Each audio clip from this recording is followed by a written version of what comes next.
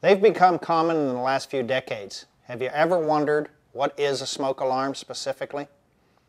The smoke alarm is commonly found in many of our homes and residences today. They can be battery operated or they can be hardwired to the structure's electrical system.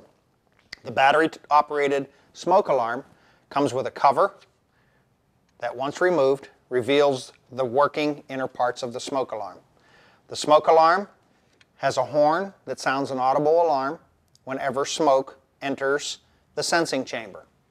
There's two types of smoke alarms commonly on the market today, ionization and photoelectric.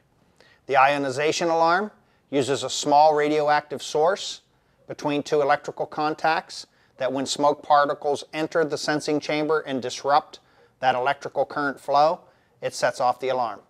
The photoelectric uses a beam of light that when that beam of light is disrupted by particles of smoke, it sets off the alarm. Smoke alarms are pretty basic and simple in design, and they should be checked at least monthly by pressing the test button on the front of the cover and hearing an audible sound. When the smoke alarm begins to chirp every so many seconds, approximately every two minutes, it's a sign that the battery needs to be replaced. We also recommend battery replacement at least twice a year when we change our clocks, change our battery. I'm Captain Joe Bruni, how a smoke alarm and what it is and how it works. Stay safe and we'll see you next time.